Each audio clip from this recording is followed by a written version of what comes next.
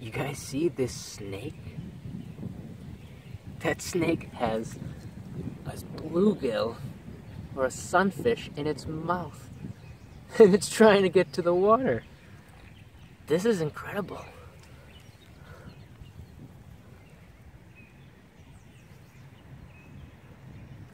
Huh? Looks like he's gonna get it.